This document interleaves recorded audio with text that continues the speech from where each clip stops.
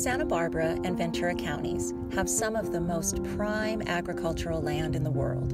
The central coast of California is one of only five places in the world that has a true Mediterranean climate, and that's one of the primary reasons that the Central Coast is such an important and irreplaceable supplier to the global food supply.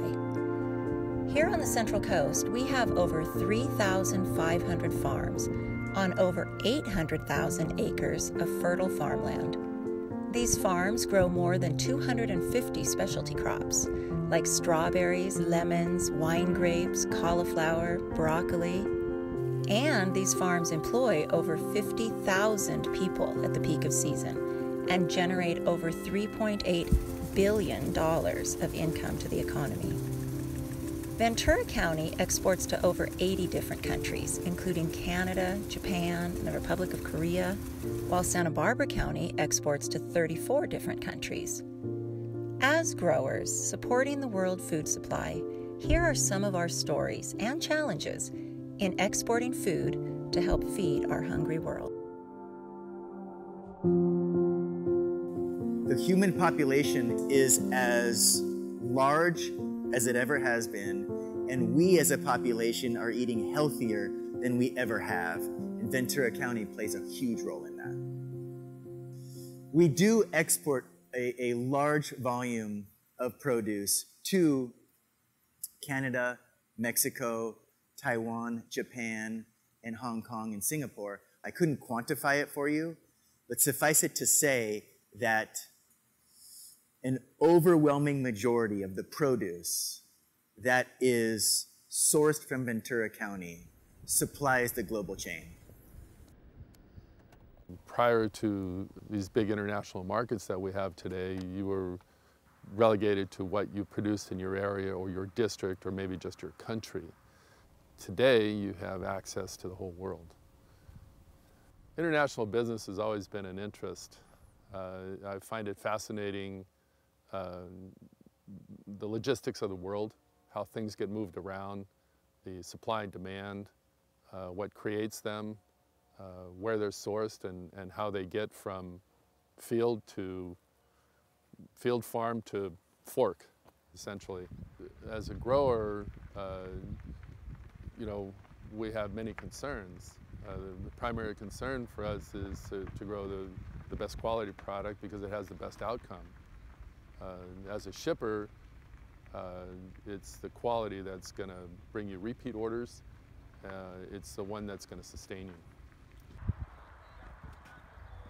We grow a variety of conventional and organic specialty crops. We grow broccoli, cauliflower, celery, spinach, parsley, red leaf, green leaf, romaine, iceberg, um, strawberries, and Brussels sprouts, and I'm sure there's a few more that I'm missing off the top of my head.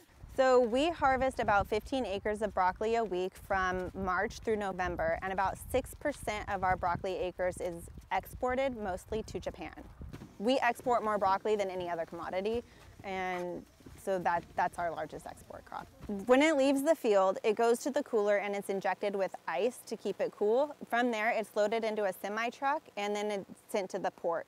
Once it hits the port, it goes onto a ship and it's on the water for another 14 to 15 days before it reaches Japan.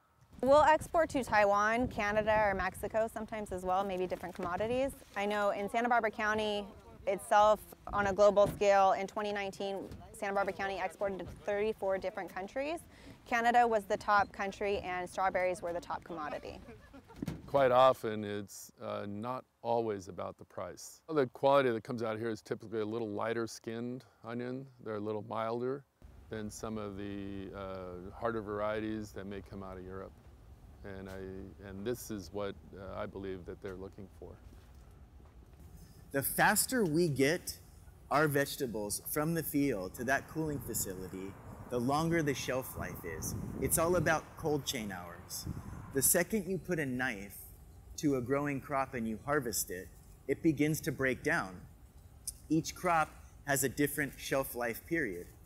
Celery, for example, we internally like to think that 21 days after it's been harvested with the knife, it needs to have been consumed. And so it all comes down to cold chain hours, keeping them consistent, and getting the produce in a high quality form from the field to the shelf as quickly as possible. The markets for celery do differ all over the world. For example, our Japanese counterparts, they really, really like small size celery, almost hearts. Um, in, in Europe, they like a much lighter, blanched colored celery that has a higher salt content, and we can provide that. Uh, in the United States, it also varies. Uh, it varies not just by size and color, but it also varies uh, by conventional and organic. Well, currently, the, the, there is no one real biggest buyer. The, it, you could break it down more to um, uh, different districts. Central America is, is currently probably our largest opportunity. Uh, our largest competitor in that region is Europe. Uh, so uh, we compete very well on a world stage uh, with Europe. The, our proximity to market, our, our logistics, our, our, you know, the transportation availabilities.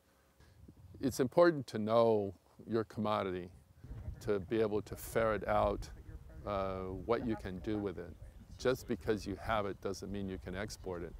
It's, it's very wise to understand and know that commodity, to know if it will travel. Um, you don't want to sell someone a problem. If you have a commodity here that looks good, but it won't arrive uh, in Central America or in Asia two weeks later, um, it's better to not ship it. Export products typically offer a higher premium for box. So we have the opportunity to make more money, but more goes into the pack too because they have a higher quality standard and we have to have a better pack to survive the trip. A, little more goes into it as well, but if the premium's that much higher, we still have the potential to make more money. Well, typically it's a question of supply and demand. Uh, there's a demand and we try to fill that with the supply. We're not just competing with each other on a domestic stage. Uh, we are competing uh, globally. It, there's a bigger purpose to what I do. Um, it's not just working out here with the guys and, you know, it's cultivating trust within the team and there is no fresher or safer food in the world as far as I'm concerned than what you're going to get from the United States and we, we get to be a part of that. There's a lot of opportunity here. The, the proximity to uh, the proximity to uh, the large metropolitan area, Los Angeles, uh, make it, I think, ideal.